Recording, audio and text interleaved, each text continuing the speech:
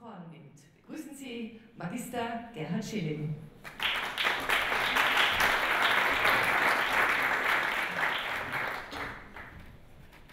Ja, das Getränk muss ich noch wechseln. Äh, danke äh, für die Einladung. Wir sind kein, kein Startup äh, wie vorhin, sondern uns gibt es schon äh, etwas länger. Äh, ich freue mich ganz besonders, dass wir ausgewählt wurden als österreichische Marke Emotionen äh, zu repräsentieren hier heute am äh, siebten Marketing-Tag, denn das ist das, worum es äh, bei uns geht, äh, worum es bei allen äh, drüber geht. Und äh, wir haben uns, ich habe überlegt, äh, was sind so die Unterschiede zwischen Österreich und Deutschland. Wir haben schon einige, äh, einige Beispiele gehört. Ich bin ein bisschen zurückgegangen äh, in die äh, Historie. Und da gibt es ganz, ganz nette Anekdoten. Das eine, äh, Anfang des, des letzten Jahrhunderts waren die Österreicher in heftige Kämpfe mit den Russen verwickelt und haben die Deutschen zu Hilfe gerufen. Und die deutschen Stabsoffiziere äh, haben nach Berlin gemeldet, die Lage ist ernst, aber nicht hoffnungslos. Die Österreicher haben nach Wien äh, gemeldet, die Lage ist hoffnungslos, aber nicht ernst. Also da kann man schon die unterschiedlichen Zugänge zu Themen sehen. Äh, eine zweite äh, Geschichte etwas äh, später, als nach dem Zweiten Weltkrieg beide Länder besetzt waren, gab es Ausgangssperren. In Deutschland hat das heftige Proteste ausgelöst. Da wurde lange äh, diskutiert, verhandelt äh, und am Ende äh, wurden die Ausgangssperren akzeptiert und durchgesetzt nach einigen Monaten. In Österreich ist alles relativ unkompliziert gegangen, die haben das sofort akzeptiert, nur keiner hat sich dran gehalten. Zusammenfassend kann man vielleicht sagen, die Deutschen sind ein bisschen wie, wie Eisen. Also es bedarf eines immensen äh, Aufwandes, um sie zu bearbeiten, um sie.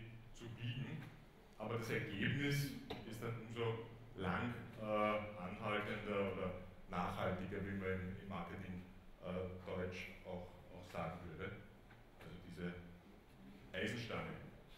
Den Österreichern ist es schon ein bisschen schwierig, äh, Vielleicht äh, ist es die, äh, die Schüssel Wasser. Da braucht man relativ wenig Anstrengung, um einen großen Effekt zu erzielen. Man schubst einmal an, es geht über, schwappt herum. Das Gute dabei, nach spätestens einer Minute ist alles wieder vorbei und nichts hat sich äh, geändert, es ist alles wieder ruhig wie vorher. Aber zum, zum eigentlichen äh, Thema Almdudler. Almdudler, äh, vielleicht eine ganz kurze Kontrollfrage, dass ich weiß, wie weit ich mich rauslehnen darf. Wer im Raum fühlt sich als, als Deutscher? Okay, dann kann ich mir die, die Gegenfrage sparen. Als Süddeutscher. Okay. ja, ja. Das ist ganz ja, das ist ja auch ein, ein, denn wie man auch an diesem Chart äh, sieht, in Süd- bzw. Südwestdeutschland kennen 90 äh, Prozent die Marke Almdudler. Quer über Deutschland sind es immerhin äh, mittlerweile mehr als, als zwei Drittel, äh, die die Marke kennen. Und äh, die kennen die Marke, weil äh, sie sehr oft in, in Österreich sind. mehr als 50 Millionen Nächtigungen der deutschen Gäste zählt Österreich Jahr für Jahr. Da nimmt man dann natürlich nicht nur viele Eindrücke von der schönen Landschaft, von Sehenswürdigkeiten äh, wie dem Schloss Schönbrunn und der herrlichen Anlagen hier äh, mit nach Hause. Äh, da nimmt man nicht nur Eindrücke von den Menschen äh, hier nach Hause, sondern, und das, äh, davon leben wir, da nimmt man auch guten Geschmack äh, mit nach Hause. Und es ist nicht so, dass wir uns da äh, als Tempel oder als Teil des Tempels der österreichischen Kulinarik sehen äh, mit Alpul, aber es ist doch etwas, was äh, recht typisch äh, für Österreich steht und darauf äh, sind wir schon stolz. Das ist ein Schluck Österreich mit nach Hause nehmen und das, und das obwohl wir unsere deutschen Nachbarn nicht nur einmal äh, gewaltig aus aufs Korn nehmen, sondern das, das immer wieder tun und das irgendwie in uns steckt, glaube ich, so wie es in den Österreichern oder Ösis, äh, wie sie oft äh, genannt wird, äh, drinnen steckt, so ein bisschen den, den großen Bruder zu ärgern. Ja. Und da sind wir gleich beim, beim Thema David äh, gegen Goliath, sagt glaube ich auch ein bisschen was über die, die Österreicher aus, äh, wie, wie wir uns im Vergleich zum großen Nachbarn sehen. Der Goliath, der ist mächtig groß, klar, das ist Deutschland. Der David ist schlau, nein, der ist klein. Äh, und wenn man äh, das Bild ansieht, dann ist es eigentlich relativ eindeutig, ohne die Geschichte äh, zu kennen, wie dieses Match jetzt ausgehen würde, würde, sollte. Denn von den Anlagen her äh, ist es natürlich eine Made Wiesen, wie man in Wien sagen würde, für den Goliath. Aber der David, der hat eines, äh, vielleicht weil er schlau ist oder selber meint, äh, schlau zu sein, der hat das Know-how, wie er den Goliath besiegen kann. Und im Fall von David, äh, das ist eine simple Steinschleuder. Das brauchen wir, um in Deutschland erfolgreich zu sein, auch Know-how, und das sind keine martialischen äh, Instrumente, und es ist auch nicht so, äh, dass wir unsere deutschen Nachbarn besiegen wollen, äh, sondern äh, wir wollen uns mit, mit Emotion in ihre Herzen bewegen und bei uns speziell in ihre Kehlen äh, bewegen. Und das nicht nur in Österreich, sondern ganz besonders gerne auch in Deutschland. Und die Frage ist, was, was ist das Know-how von, von Almdudler? Was ist der, der USP? Und der steckt natürlich in der, in der Marke, in der Marke selbst. Wir sind, und darauf sind wir sehr stolz, die, die stärkste österreichische Getränkemarke. Und ja, da im Raum lauter, lauter Profis sind, äh, und Sie wahrscheinlich schon äh, gedacht haben, da hat aber einige äh, Marken eine Marke fällt mir jetzt nur ein, äh, vergessen. Äh, das Stärkste bezieht sich auch auf Werte wie, äh, wie Sympathie, äh, Bekanntheit, Glaubwürdigkeit. Und das sind die stärksten. Natürlich würden wir gerne ansatzweise so viel verkaufen oder einen Bruchteil von dem verkaufen, was die, die Kollegen von Red Bull äh, weiterbringen. Nicht nur in Österreich, nicht nur in Deutschland, sondern weltweit.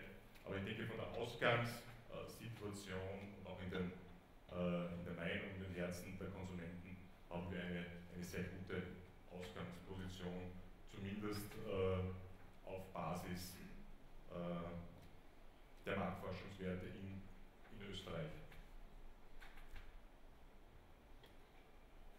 Sympathie, äh, Bekanntheit, äh, Augenzwinkern, das sind die, die Dinge, die die Konsumenten mit äh, Almdudler verbinden.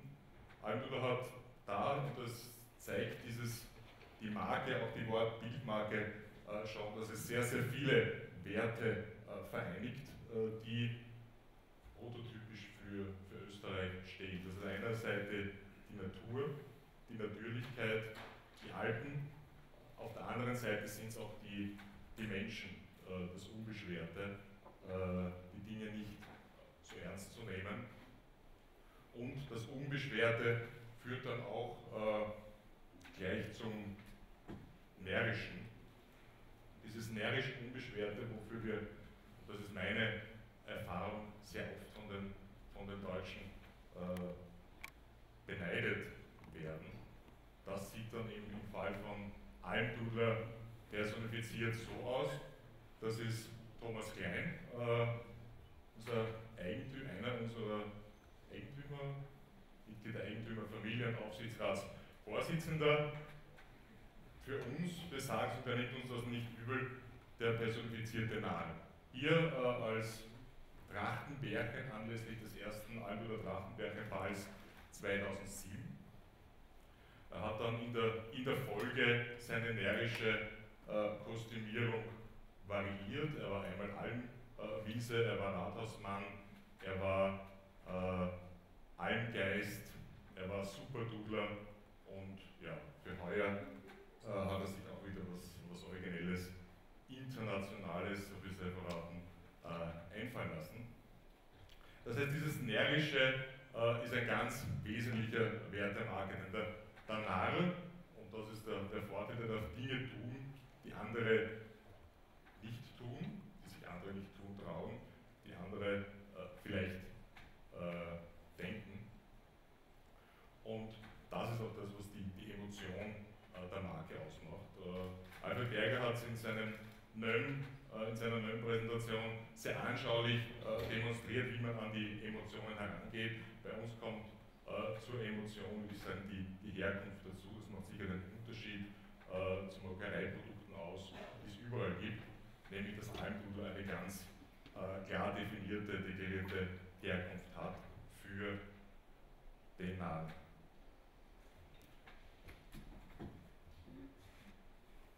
Ja, zwei zwei Länder äh, und ich habe zwei, zwei Marken äh, ausgesucht, um auch dieses emotionale Spannungsfeld oder die Unterschiede äh, herauszuarbeiten. Da wir uns im Fast-Moving-Consumer-Bereich befinden äh, und wir, um ehrlich zu sein, keine starke deutsche Foodmarke äh, jetzt aus dem unmittelbaren Getränkebereich eingefallen ist, äh, habe ich Nivea gewählt. Und die, die Kern, die Eckdaten der Marke, die Kernwerte mit Pflegern vernünftig sanft, äh, denke ich, repräsentieren äh, die deutschen Werte, das ist im Deutschen wichtig ist, sehr gut, obwohl das sanft vielleicht nicht ganz äh, deutsch für die Deutschen typisch ist, aber trotzdem denke ich eine recht vernünftige Marke. Auf der anderen Seite Almdudler, die ist gesellig, die ist authentisch, der österreichischen Herkunft, aus den Alpen und die ist aber auch unvernünftig, äh, augenzwinkernd, närrisch und sie verspricht Genuss. Und wie, ja, wie man das jetzt umsetzt, dieses unvernünftige Augenzwinkern, das möchte ich Ihnen gerne zeigen in einem äh, älteren Spot, der vor einigen Jahren äh, gelaufen ist, der ja, unterschiedliche Reaktionen ausgelöst hat.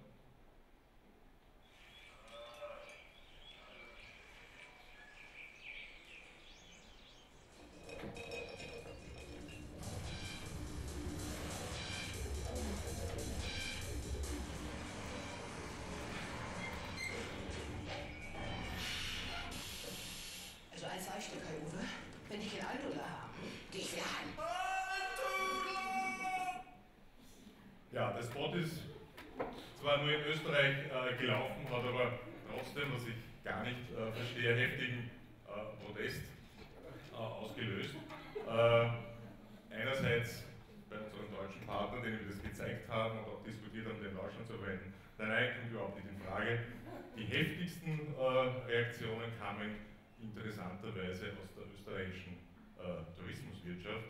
Das kann man mit unseren wichtigsten, treuesten Gästen nicht tun. Äh, wir, sind, wir sind der Meinung, äh, die halten das aus. Äh, die mögen uns vielleicht auch gerade deshalb, weil wir uns äh, nicht übertrieben anbiedern und weil wir äh, mit der nötigen Gelassenheit und nahen Freiheit die, die Dinge sehen. Almdudler in Deutschland. Das ist natürlich nicht so eine große äh, Geschichte, hat nicht so eine lange äh, Historie wie äh, in Österreich. Äh, ist aber etwas, wo wir sagen, der Markenauftritt in Deutschland muss in der Tonalität gleich sein äh, wie in Österreich. Auch wenn uns dort in Relation nicht die Mittel zur Verfügung stehen. Ich denke an die großen Almdudler-Spots, äh, New York, Wüste, die, die Mitte der 80er Jahre begonnen haben, da hatte man das Gefühl, die sind allgegenwärtig überall zu sehen. Wir haben zuerst von den Dimensionen des deutschen Marktes gehört, soweit sind wir noch nicht. Und das Umfeld hat sich auch, auch geändert. Also neue Medien, neue Anbieter, sowohl in der Telekommunikationsbranche als auch im, Finanzdienstleistungssektor, die mit dem ganzen Privatsenderbereich machen es auch nicht mehr möglich, eine solche Präsenz zu haben. Trotzdem ist die, die Tonalität wichtig. Und dieses Deutschland, dieses Bild ist für uns, äh, hat auch Symbolcharakter, weil wir natürlich diesen Gipfel, diese Herausforderung Deutschland auch meistern wollen in der Zukunft und auch meistern werden. Ja, das ist nur eine, eine Frage der Zeit. Äh, wir sind ein Familienunternehmen, äh, wir, wir denken nicht in, Quartalen, sondern in, in Generationen. Äh, wir haben Weichenstellungen getroffen. Die letzte große Weichenstellung für uns war im Jahr 2009, wo wir das Geschäftsmodell in Deutschland von einem Lizenzmodell auf ein Vertriebsmodell geändert haben. Das heißt, bis dahin war die, Markenführung in Deutschland in der Hand in Abstimmung äh, mit, mit Wien äh, eines Lizenzpartners. Seit 2009 äh, führen wir die Marke selbst aus Wien. Der Vertrieb, Vertriebstätigkeit wird über einen Vertriebspartner in Deutschland abgewickelt. Und äh, seit damals haben wir idente Flaschenformen, äh, identen äh, Auftritt in der Grundlinie der Kommunikation, wenn auch nicht äh, alle Lines und alle äh, Kommunikationsmittel gleichgeschaltet sind. Das Jahr 2011 hat sich äh, in, in Deutschland für uns gut entwickelt. Wir hatten dagegen den Markt ein 20-prozentiges Wachstum. Das heißt, wir, wir sind hier auf äh, Kurs und haben natürlich äh, Bezug nehmend auf das Chart mit den 70% nationalen Bekanntheit und 90% in, in Süddeutschland äh, einen riesigen äh, Gap zwischen Bekanntheit und Verwendung. Und das ist unser Potenzial. Sympathie stimmt, äh, wie uns die Marktforschung sagt. Und hier dieses Potenzial zu nutzen, das ist unser Thema für die, für die nächsten Jahre. Der Berg selbst, der hier steht, das war auch ganz witzig und sagt auch etwas über den Zugang, den wir in den Markt äh, Deutschland haben. Es war 2009, als die, die Stadt Berlin einen großen äh, Architekturwettbewerb ausgeschrieben hat für das Gelände des ehemaligen Zentralflughafens äh, Tempelhof. Sie erkennen es an diesem geschwungenen Gebäude am, am Fuß des Berges. Da hat es eine, eine Menge oder eine Reihe äh, großer Büros gegeben, international, die an diesem Wettbewerb teilgenommen haben und sich der Herausforderung gestellt haben.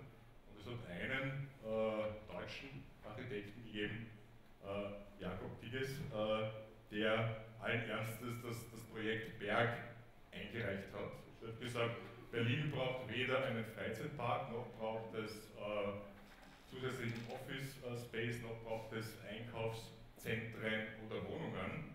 Das, was die größte Sehnsucht der Berliner ist, das wäre ein Berg, ein Berg, wie sie ihn in Österreich haben. Und er hat dieses äh, Modell des, des, Berges eingereicht, man möge dort einen 1000 Meter hohen Berg äh, aufschütten. Es sind heftige Diskussionen äh, dazu gegeben, ging auch durch die Medien. Wir haben auch davon erfahren, haben dann sofort mit dem, mit dem Tigges Kontakt aufgenommen und gesagt, die Idee Berg gefällt uns, äh, die unterstützen wir gerne, was können wir tun? Äh, das alpine Know-how haben wir. Und da hat sich dann eine recht fruchtbare Zusammenarbeit äh, ergeben. Wir haben dann Souvenirs erstellt von Ansichtskarten zu kleinen Fotoapparaten, mit denen man schöne Bilder von, vom Berg in Berlin und anderen Sehenswürdigkeiten finden kann. Aber das ist nur ein, Beispiel dafür, wie wir den, den Zugang zum Markt sehen. Ja, wie man im Markt äh, auftritt, das muss natürlich auch äh, etwas, etwas lauter sein. Ich möchte Ihnen hier zeigen, äh, ein, Sie hören lassen, ein Beispiel aus unserer äh, Hörfunkkampagne Mutter Natur. Das war eine äh, Kampagne, die wir im ersten Halbjahr 2011 auf über 100 äh, deutschen Radiokanälen laufen haben lassen und ein Spot aus einer Multi äh. Bitte, muss ab. Mutter Natur für Entschuldigt, dass ich das Geschlechtsteil der Männer nicht genauso wachsen lasse wie ihr Bart und Frauen links nicht von den anderen links unterscheiden können. Verzeiht mir, dass Blumen nicht selber ein Glas Wasser trinken und dass der Waschbär nicht den Abwasch macht. das erste Mal, dass es Mutter Natur gut mit euch meint. Almdudler, erfrischt mit 32 Alpenkräutern. Ja, also Sie können sich vorstellen, da hat es dann auch Reaktionen gegeben auf diesen und ähnlichen und ähnliche äh, Spots. Also wenn man die, die Maßstäbe von, von Nöm äh, anlegt, dann, dann war er äh, erfolgreich. Wir haben nicht die Messinstrumente, sage ich auch ganz offen, nicht diese Reaktionen, dass wir das in Verdoppelung, Verdreifachung äh, der Absatzergebnisse äh, gesehen haben. Dafür fehlt uns in, in Deutschland ganz einfach auch die, die Vertriebsstärke, die Präsenz vor Ort. Das ist ja auch offen gesagt, aber es geht um, um Emotionen und begonnen hat das Ganze etwas, etwas biederer, auch emotional, auf andere Art und Weise äh, emotional. Das ist ein, ein Beispiel für ein Printsujet, das äh, von 2002 bis 2004 geschaltet wurde, damals in, in Kooperation mit der, mit der Österreich-Werbung. Sie sehen da auch noch die alte Flasche, also wir hatten in, Deutschland, war das ja alles genormt und da gab es scheinbar unüberwindbare Widerstände, die österreichischen Flaschen zu verwenden. Das haben wir diese GDB, Gemeinschaft der Brunnenflasche, verwendet und die ganz, ganz charmant mit unserem Almduder-Etikett äh, verziert. Es wurde dann etwas selbstständiger, das war äh, aus 2005. Wir waren damals schon auch selbstbewusst, also der Almdudler für Deutschland, Österreich für, für Deutschland war damals äh, die Linie. Wurde national äh, plakatiert, äh, sehr distributionspunktbezogen, das heißt im Umfeld von äh, Verbrauchermärkten, Supermärkten, aber flächendeckend national. Ja, und dann kam die neue, die neue äh, Ära, die wir, die wir seit äh, 2009 äh, verwenden. Hier jetzt ein, ein paar Beispiele, die Zeit geht knapp, aber es geht sich aus für äh, Print-Plakat-Sujets, die wir seit 2009 in Deutschland verwenden die jetzt gezielt ganz im äh, urbanen Bereich, das heißt in, in Szenevierteln rund um Lokale, sehr punktuell und im Printbereich in, in Stadtmagazinen und äh, Tourismusmagazinen. Ja, weiteres Beispiel. Also da ist es, der Lacher dauert jetzt ein bisschen. Äh, ich, ich, muss, ich muss gestehen, äh, wir haben uns dann auch eine deutsche Agentur genommen äh, und uns überzeugen lassen, dass der deutsche Humor etwas subtiler ist. Äh, ich finde es auch, äh, auch lustig und bei den Deutschen, wie wir das Beispiel der Eisenstange, es dauert etwas länger, aber es hält dann, es hält dann besser. Äh, ja, das war auch eine deutsche, deutsche Line. Sportgruppen sehr beliebt, wie das mit dem Fußball seit letzten Samstag ist, weiß ich nicht, aber man muss nicht immer Bier trinken.